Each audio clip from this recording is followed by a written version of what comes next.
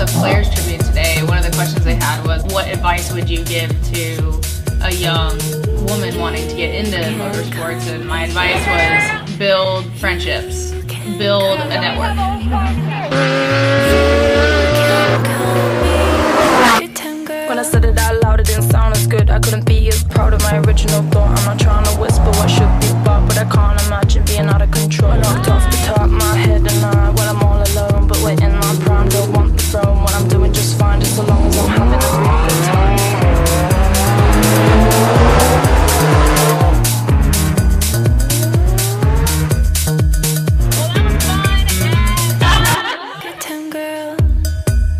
Mitch and Cardi to the talking.